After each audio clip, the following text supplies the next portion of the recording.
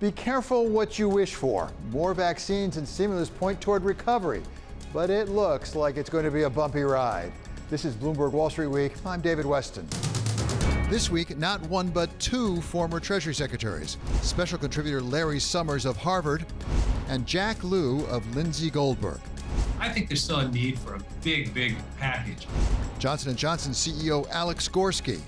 We will have done 100 million doses by the end of June and uh, near a billion by the end of 2021. Former chair of the FDIC, Sheila Bair. A physical location, I think, is an advantage uh, that that Walmart could provide and a benefit to that segment of the population that still wants a wants a, an actual banking physical space. Former chair of the Council of Economic Advisors, Laura Tyson. Katie Nixon of Northern Trust Management, and Bindiya Vakil of Resilinc.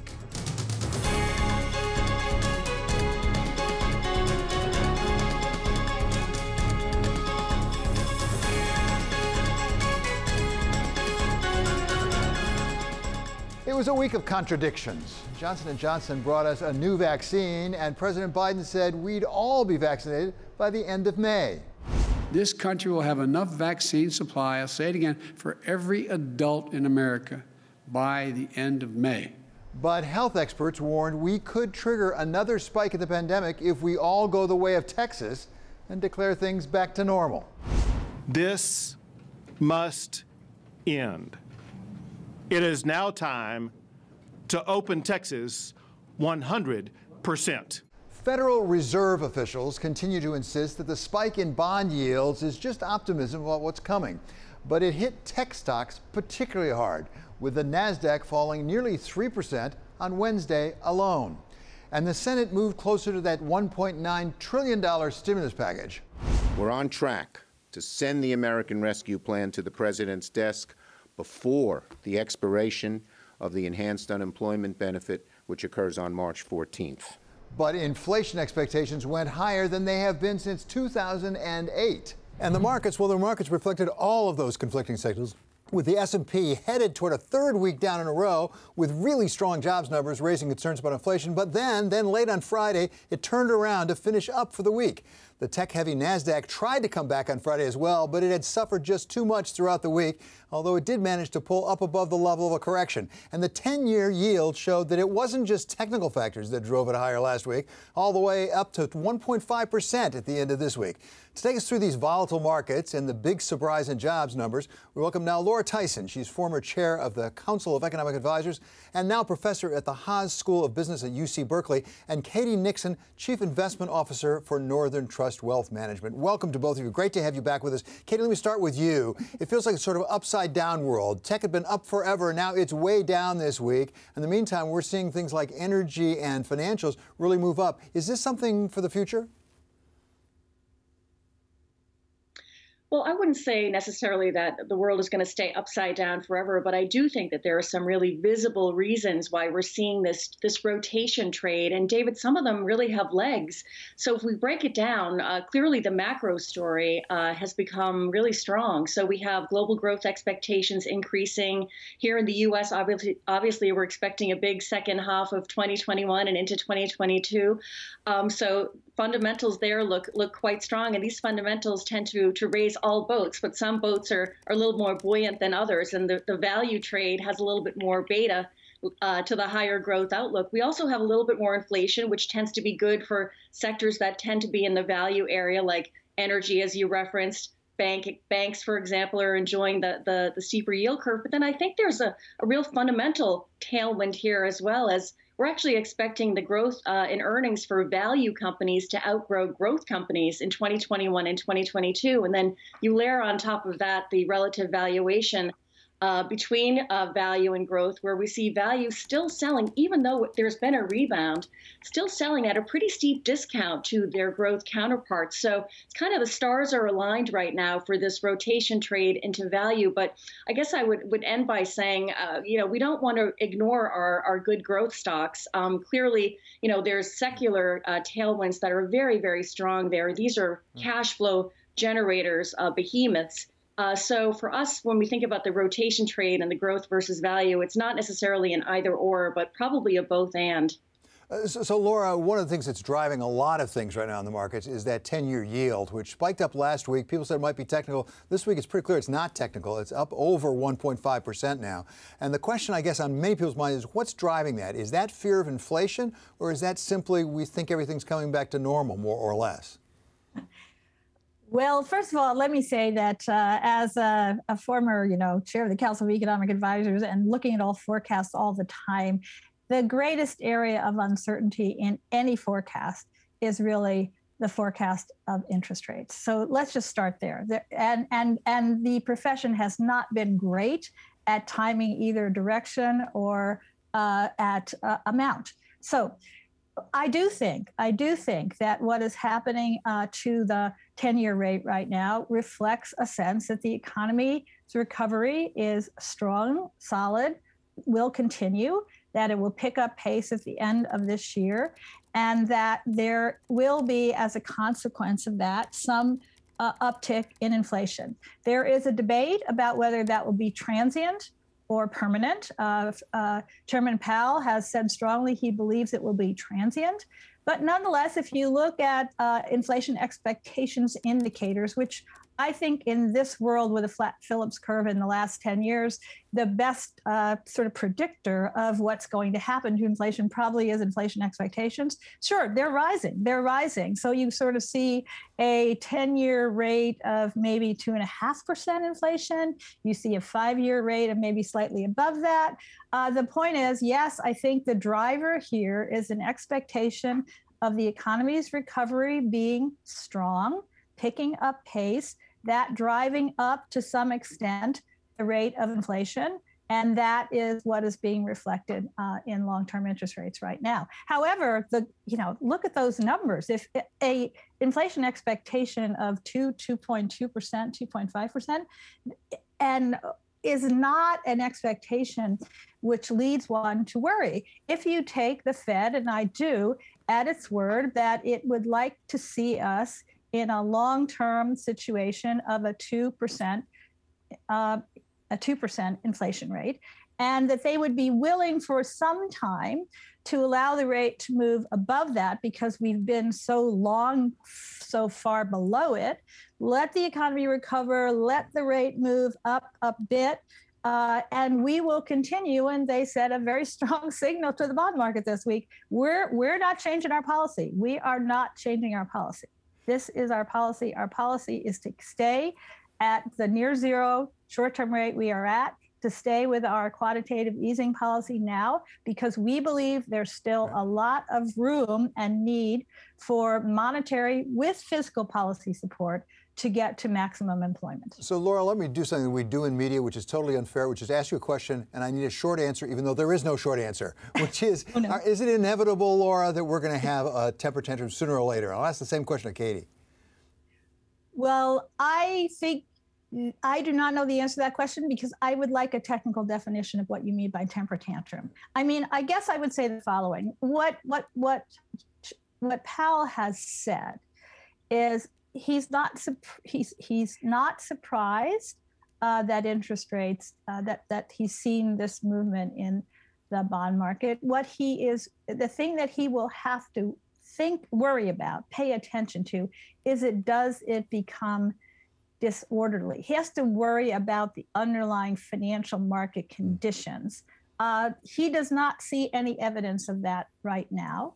Um, so I think uh, I would say I would rather use pay attention right. to underlying financial market conditions, see if they become disorderly. Another term we do not have a technical definition for, by the way, uh, and and then uh, make uh, adjustments if necessary. But but but I, I really yeah. want to go back to my first point again, right. which is um, if we define temper tantrum or disorderly in terms of just a movement at a particular interest rate, a 10-year rate, boy, that is something that our forecasts find really hard to predict. Thanks so much to Laura Tyson and to Katie Nixon.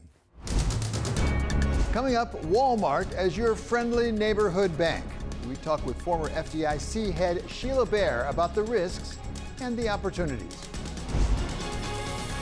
This is Wall Street Week on Bloomberg.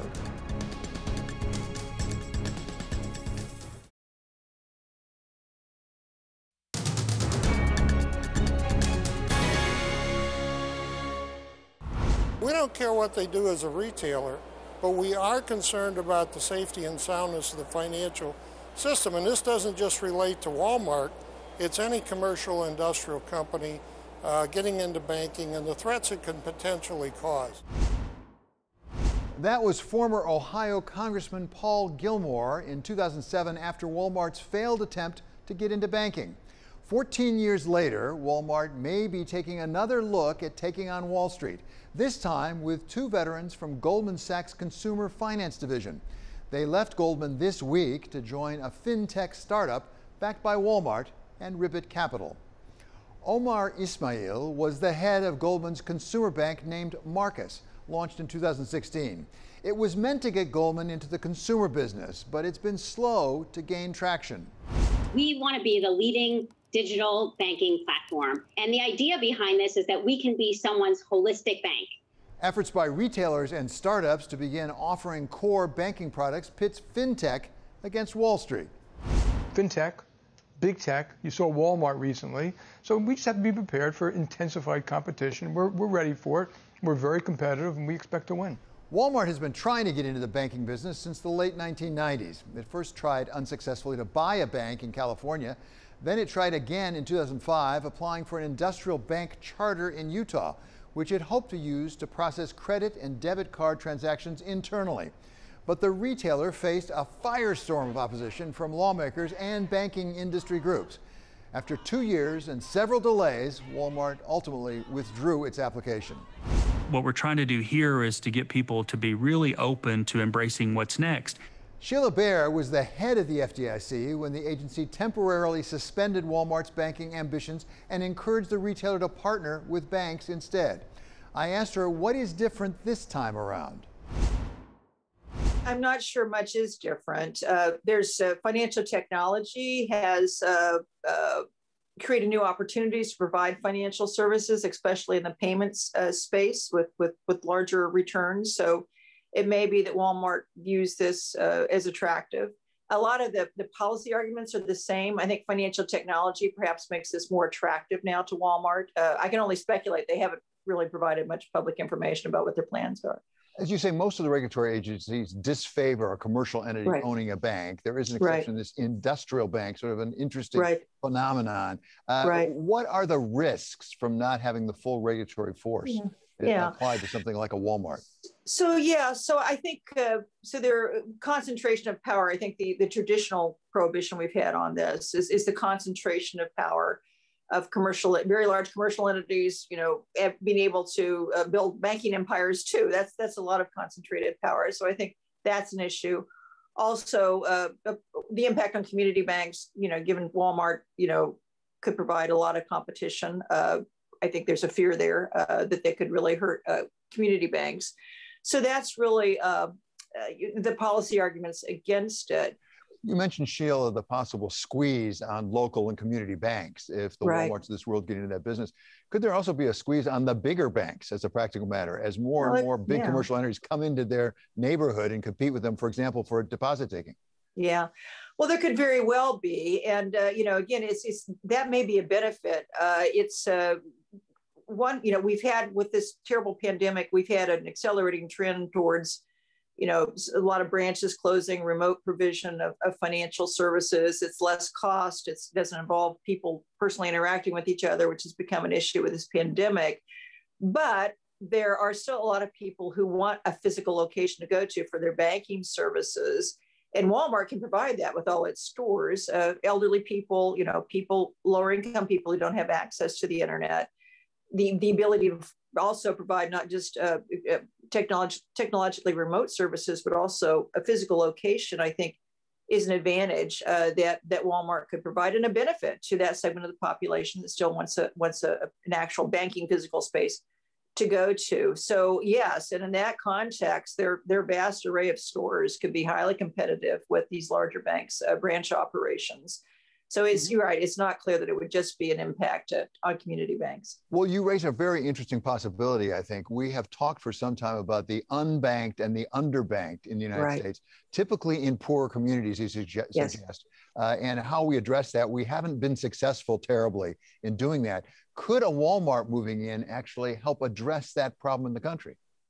Well, I think they could. I mean, I think lower income and lower middle income Americans are are, are a very big part of Walmart's uh, uh, customer base, and so they're coming to those stores already. So yeah, I mean, I think we need to know what Walmart plans. if they just plan to, you know, fatten their profit margins, well, good for them. But you know, that's not really a public policy reason to pr- provide the charter, approve the charter.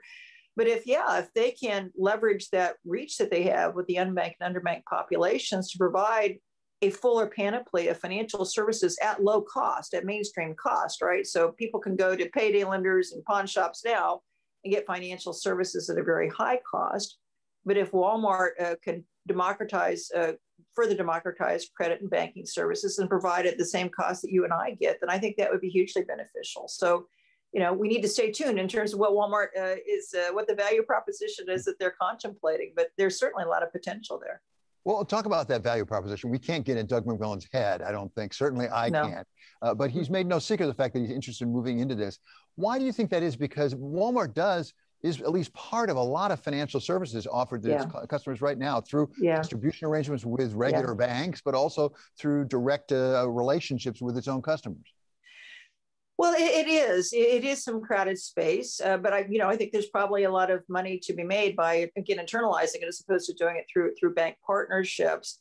It's interesting. They seem to be really focused on financial technology as part. You know, they're talking about creating a, some type of fintech uh, entity, which in that's pretty crowded space already. It, it seems to me that they're stronger. Uh, they're, they're the greater strength in this, their competitive strength is their stores, right? They have physical locations. They can provide that, and they have a customer base that's, ready made. They can those unbanked and underbanked that the mainstream uh, banking uh, organizations have not been able to reach. They're their customers already. So it seems to me that's their benefit, not so much utilizing financial technology uh, that can help lower the cost of providing the services, but their, their strength is their pre-existing customer base and their physical facilities. That was Sheila Bair, former head of the FDIC. Coming up, Johnson & Johnson joins the COVID vaccine club, and its CEO, Alex Gorsky, is the first to say he couldn't have done it on his own. It's all about partnerships. And look, we're partnering and we're working hand in hand with the U.S. government. This is Wall Street Week on Bloomberg.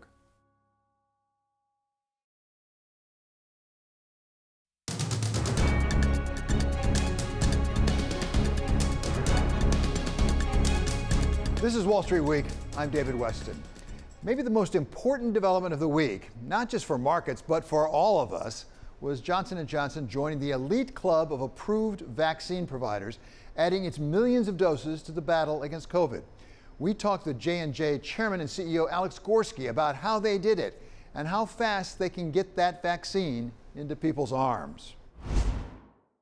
From the very beginning, we tried to look at how could we design a, the very best possible vaccine in terms of safety, efficacy, dosing, and, and frankly, administration and logistics.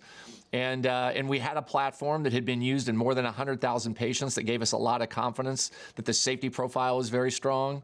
Uh, we tested it thoroughly. And what's really important about our test, uh, David, our clinical trials, was we didn't start until September. And so, just as we had come out of what I would say the low point over the summer, and we started seeing cases increase, certainly across the United States, but more importantly around the world, that's when our trial began. So we were really into you know the, the heat of the of the virus spread. So give us a sense about getting into people's arms because now you have the vaccine. We're all eager to get it uh, to protect us. Uh, you've got, as I understand, about four million doses ready to go. They came out of your Dutch facility. Are there manufacturing issues in Baltimore? Are you concerned at all about that? No, look, we're we're on track with our plans. We do have approximately 4 million, 3.9 that are literally on trucks right now being rolled out in the United States. We expect to do 20 million in March. Uh, and and look, over the next several weeks, we've got to go through regulatory approvals uh, and a few other uh, processes. Uh, but then we will expect to hit a very strong cadence, as I mentioned earlier, so that we can be doing we will have done 100 million doses by the end of June and um, near a billion by the end of 2021, en route to a path of almost 2 billion by 2022. Uh, so um, it's it's been a remarkable achievement here too. And while, while the discovery and the development of the vaccine, uh, I think, has been really impressive. At the same time, we've had to scale up these manufacturing facilities. In this case, David, you, the site you were mentioning, it was a parking lot eight or nine months ago. Today, it's one of the most advanced biopharmaceutical manufacturing facilities in the world. But, but Alex, when you have the four million or the 20 million or 100 million, who do you call to say, where should I ship them? Well, right now it's directly to the government. So in the United States, the government determines, uh, as you may have seen on some of the footage today, it goes from uh, basically our, man, uh, our distribution facility and UPS trucks to McKesson, and then the government works very closely to distribute it to the states. They're working closely with the governors as well as with some of the large retail chains. And you know the good news is, David, I think now that we have a third vaccine out there, and, and by the way, kudos to Pfizer and Moderna for also significantly increasing their output. I would predict that in the second quarter, we're no longer going to be near as supply constrained. And as we get more doses out, we're going to be able to open up some of the requirements and restrictions regarding who can get the vaccine and who can't.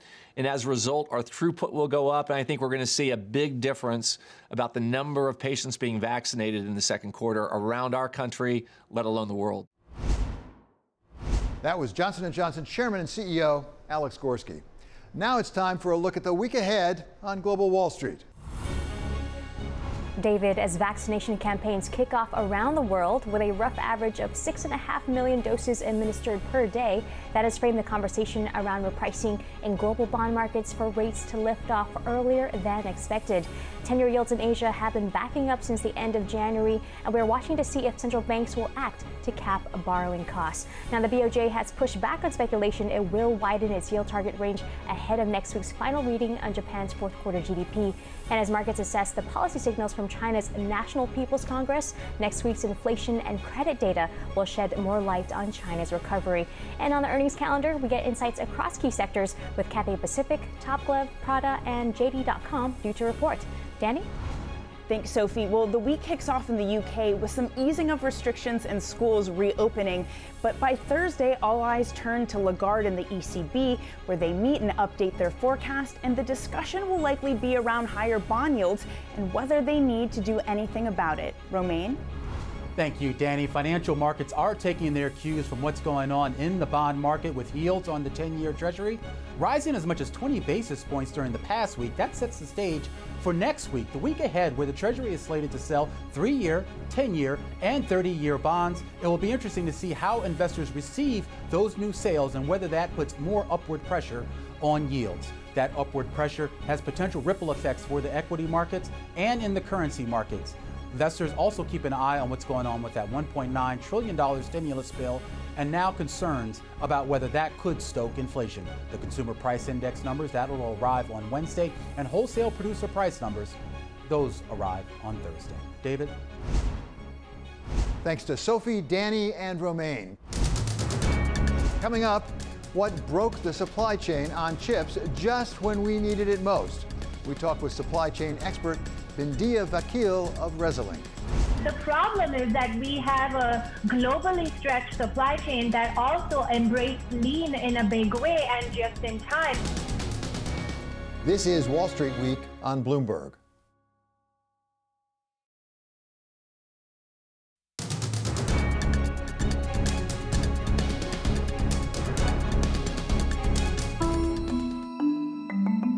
World's manufacturing supply chains are showing signs of strain, and semiconductors, or chips, are among the hardest hit. The combination of the pandemic, policy decisions, and the growing demand for electric vehicles created a perfect storm for the industry. This is an industry issue. Of course, we're working every single day with a cross functional team to look for opportunities of how do we minimize the impact. In January, Honda said it will cut domestic output at one of its Japanese factories, while Nissan is adjusting production of its Note hatchback model. GM announced this week that it's extending temporary shutdowns at three of its North American plants because of the ongoing semiconductor shortage. The first quarter, uh, we have had some uh, disruptions and idled some of our plants, but it is still a volatile situation. It's not just car makers. A shortage of chips affects everything from 5G phones to medical devices. combination of the coronavirus and the, the impact on not to be too technical, the entity list, but the ability of American companies to sell to us and others, it's really had a very negative effect on us. The shortage has gotten so bad that President Biden stepped in this week with an executive order directing a government wide supply chain review for critical goods. We need to make sure these supply chains are secure and reliable.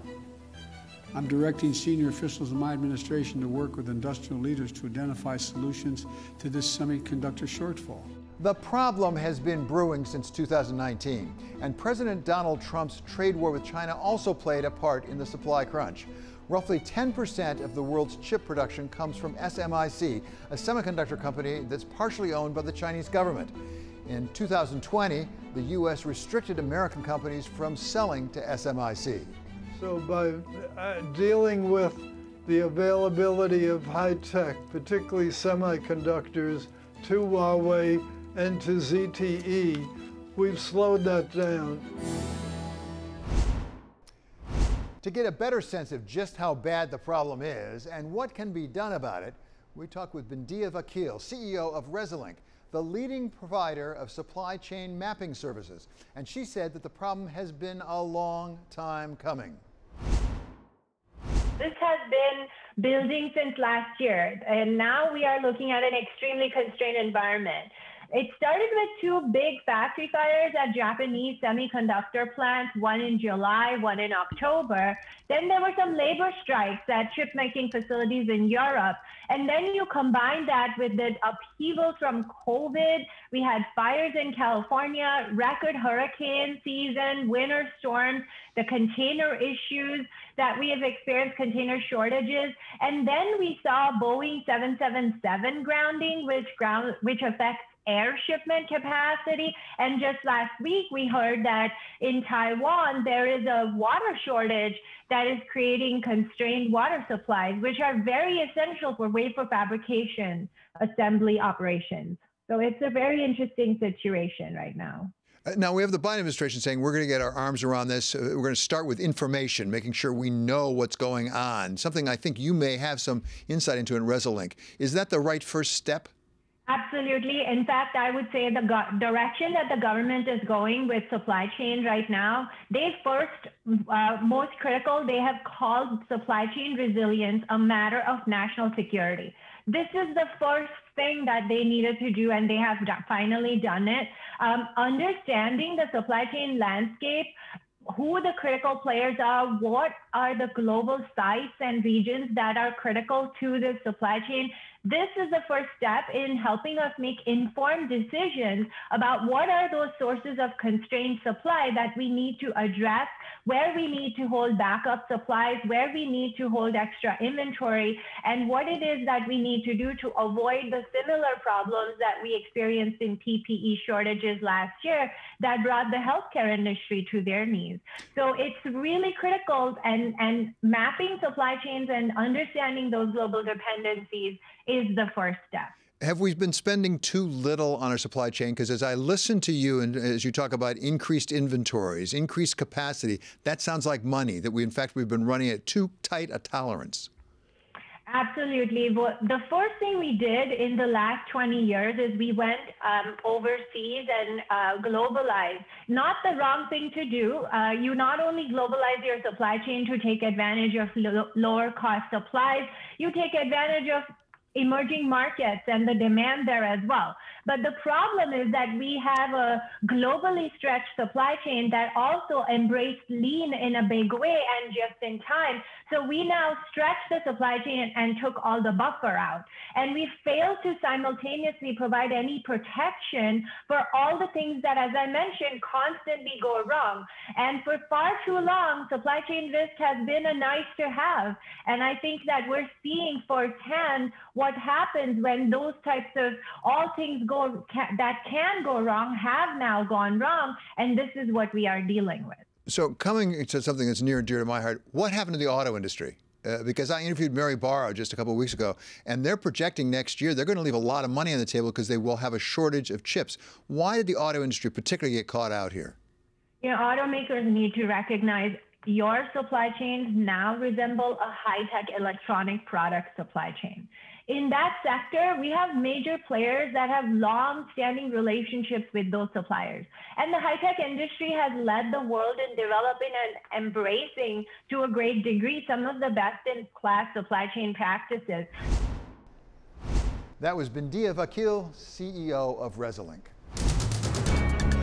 Coming up, former Treasury Secretary Jack Lew on the jobs numbers, the stimulus package, and whether it's possible to give the economy too much help right now. This is Wall Street Week on Bloomberg.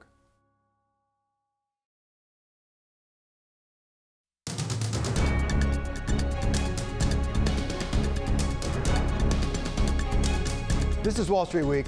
I'm David Westin. Jobs are coming back slowly. The economy is projected to grow a lot this year to make up for that disastrous 2020, and Congress is about to add hundreds of billions more dollars in stimulus to the trillions it's already pumped in. So we asked Jack Lew, former Secretary of the Treasury, whether it was possible that we were doing too much or maybe doing it in just the wrong places. Today's jobs numbers uh, are good news, but they also show we have a very long way to go. Um, at the rate of job growth uh, that we saw today, it would take years to get back to employment levels at the point when COVID hit. And in that point, we wouldn't yet be uh, where we would have been if we'd never uh, gotten off the growth path. So it's whether you call it two, three, four years uh, ahead of us, just at this rate of growth to get back where we were. Um, if you look within the numbers, uh, wages were flat. We're not seeing uh, inflationary pressures on wages. Labor force participation uh, was not up, and it shows that there's still a lot of people who are out of the workforce either because there are no jobs to be had or because they're taking care of kids who can't go to school. So I think it tells us there's still a lot of work to do. And there's still a lot of people. There's nine and a half million people who are still unemployed. And you know that's a that's a, a big problem. So I think there's still a need for a big, big package. Uh, some of the fine tuning that's being done, uh, I think, is is, is sensible, uh, and I think it's moving in, in a good direction. But we need a big package in order to get through this and have uh, people not be hurt, businesses not be hurt, and the economy poised to grow again. As I understand it, pretty much everybody agrees something needs to be done, something substantial needs to be done. The Republicans have proposed over $600 billion. I guess my question to you is Is it possible to do, to do too much? Some people are suggesting right now it could be too much. There's a lot of money, as you know, sitting on the balance sheets of households that's not getting spent. If that all flooded into the economy, could that have some adverse effects? So I, I, think you have to look at where the money is going. If people are unemployed and they're getting extended unemployment benefits, they don't have a lot of savings. They're spending what comes in just to keep their family eating and uh, with a roof over their head. If you're looking at the stimulus checks, uh, at the high end, there was a very high savings rate, and I think the decision they made to target it a little bit more more precisely to where the need is is a move in the right direction. Uh, in terms of household savings, there have been household savings, but it's skewed. It's it's mostly in households that are, relatively speaking, more uh, comfortable and have more assets uh, to begin with. Um, I think if you look at where the need is, the nine and a half million people unemployed, you look at the, these numbers today, uh, we still lost jobs in state and local government. Uh, we've lost a million point 1.4 million jobs since the beginning of the pandemic in state and local government. So to say that there's not a need for help there, it, we're not we're not at that point yet. I thought the Republican package at 600 was substantially short of what was needed, substantially short. Uh, I think some of the moves that have been made in the last few days uh, show that there, there, there are modifications that can trim at the edges, but it's in the right direction. Uh, this, this is a, a, not a science, it's an art. Um, it's a question of what can get a majority of votes and what will do the most good for the economy. Um, I think there are reasons to ask questions about what it all costs, where the deficit is going, whether there's inflation to be worried about around the corner. I don't think now is the time to have that fear stop us from doing what we need to do to get through the crisis. it, it is a reason when we come out of it to ask the hard question of how do we pay for the things we need to do and how do we look ahead to be on a sustainable path. I would just say that with the 10 year rates and the 30 year rates we're looking at, debt sustainability is not a problem anytime in the near future for the United States. One has to come up with a black swan event to come up with a real crisis. Yeah, and I want to turn to that very important question of rebuilding the economy rather than just tiding us over. But one more question on the stimulus. I'm glad you raised the question of the state and local jobs because that really did jump out of these jobs numbers. We lost a lot of employees.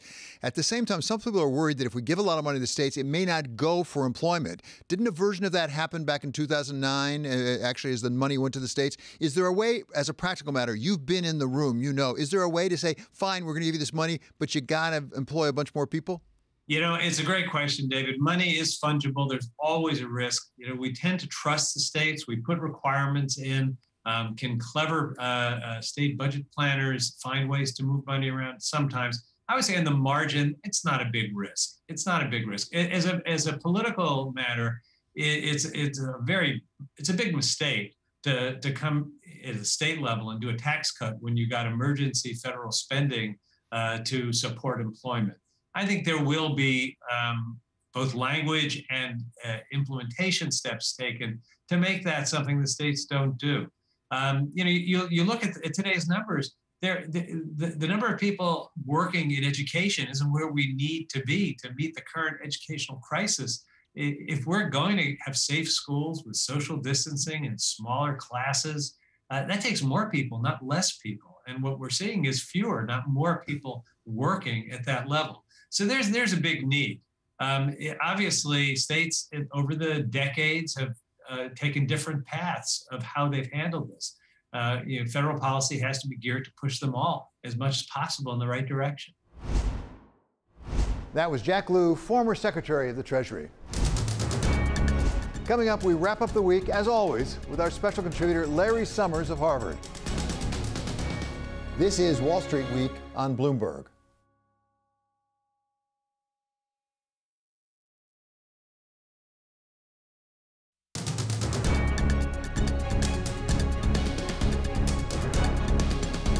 This is Wall Street Week. I'm David Westin, and we're going to conclude our week as we do every single week with our special contributor, Larry Summers of Harvard. So, Larry, thanks so much for being back. One of the big events of the week was Fed Chair Jay Powell speaking at a Wall Street Journal event. He talked about a lot of things, including the bond yield, things like that. But one of the things he addressed was inflation. And he admitted as how they're keeping a cl- close eye on it, maybe because of some of the things you've said, frankly, uh, and that they are not going to repeat the mistakes of the 60s and 70s, as he referred to it. Uh, what does he need to do to avoid that? I sure hope they don't repeat the mistakes of the 60s and 70s because they were hugely important, not just for inflation, not just for macroeconomic stability, but for the whole politics and attitude of uh, the country. They're going to need to look in hard headed ways and to be prepared to not make excuses each month pointing to a different factor when inflation picks up. And they're going to need to remember that their priority is the macro economy.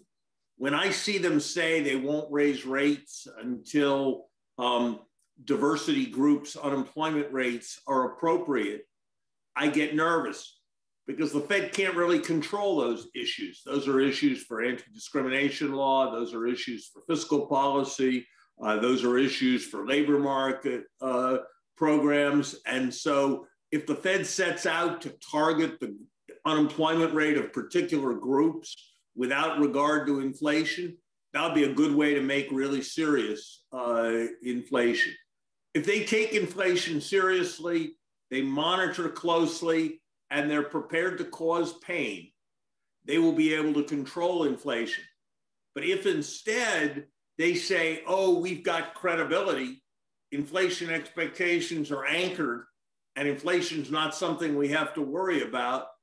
Ironically, the more optimistic they are about inflation uh, being under control, the less likely it is to actually be under control. So Fed Chair Powell gave us a little bit of a hint about how he's going to approach this because he addressed a couple of things. He said some of the uptick in prices that we're expecting is going to be base effects as there's a reopening effect as people come back.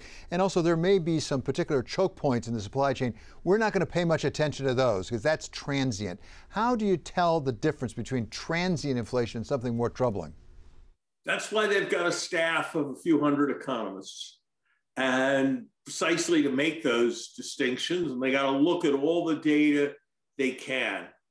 What I'm worried about when I hear that kind of talk is not that it isn't right. He's right about the base year effects, he's right about specific sectors, but every great inflation is made by a central bank that dismisses it as due to transient factors. And so at a certain point, when you start having a transient factor every month, then you maybe got a permanent factor going over going uh, overall. So it takes a lot of worry about inflation to make there not be uh, inflation. This is a classic example of self-denying prophecy. The more the Fed is fearful of inflation, the more likely they are to avoid it. The more the Fed is complacent about inflation, the more likely they are to have it. Uh, so, Larry, one of the things that's a big item on the agenda now as we are working our way through the stimulus package is infrastructure. President Biden has said that he wants to go on to that. He had meetings at the White House this week to talk about it.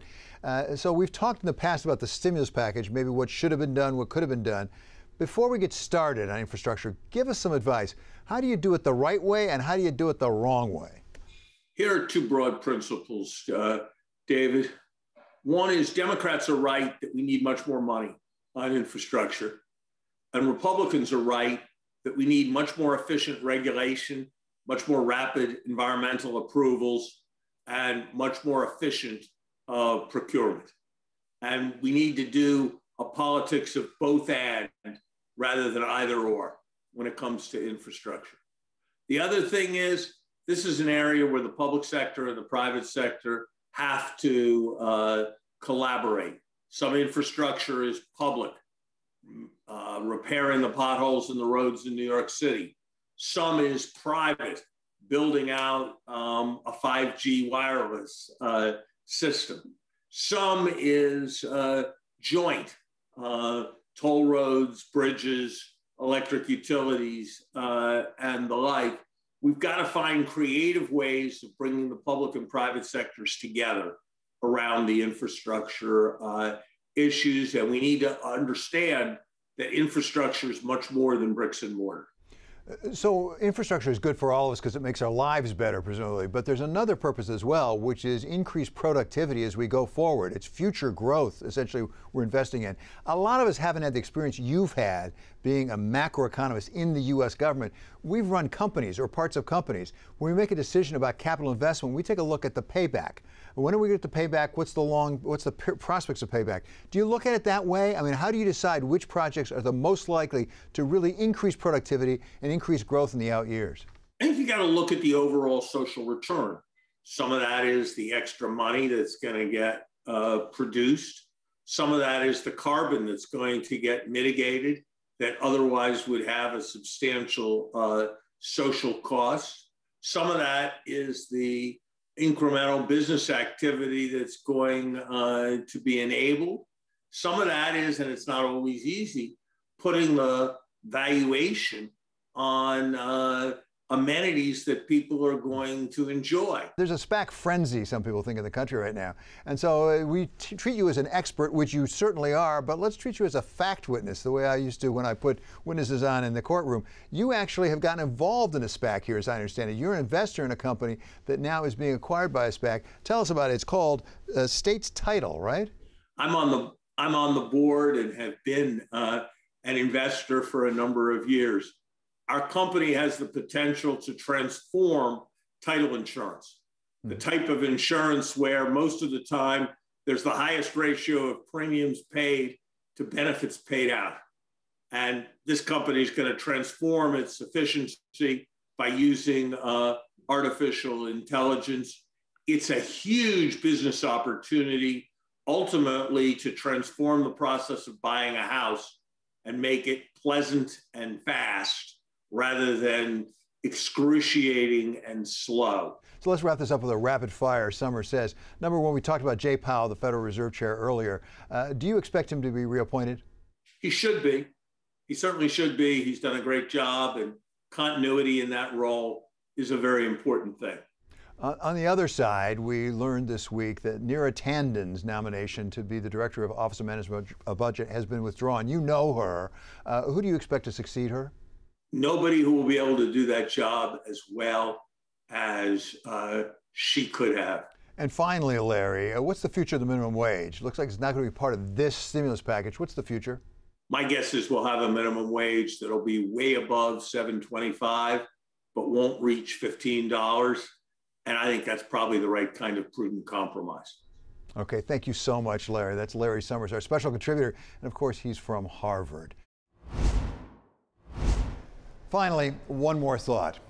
We lost a giant this week. And by we, I mean those who walk the corridors of power in Washington, those who sit in the boardrooms of our corporations, those who care about racial justice, those of us who care about our country.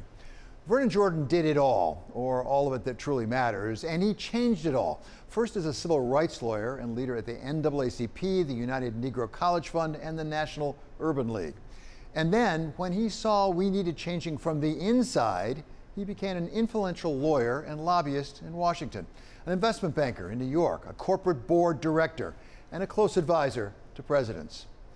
He was larger than life in every way in his stature, in his deep baritone voice and measured tones, in that twinkle in his eye, but most of all in his quiet moral authority that he brought to every gathering and to every decision. For those of us blessed to witness it firsthand, it was sometimes as much how he did it as what he did a loyal and true friend, always there to listen, to remind us of our true north. At a time of so much division, so much bickering, we need a Vernon Jordan more than ever. The grace, the wisdom, and most of all, the respect he showed everyone. Respect for those he agreed with, and every bit as much for those with whom he could not agree. Yes, we lost a giant this week. I fear we will not see his like again, but I so hope that I'm wrong for all of our sakes. I believe that the new era we are facing has the potential of crossing boundaries of enormous positive possibility if we can seize the moment and act out our better impulses. That does it for this episode of Wall Street Week. I'm David Westin. This is Bloomberg. See you next week.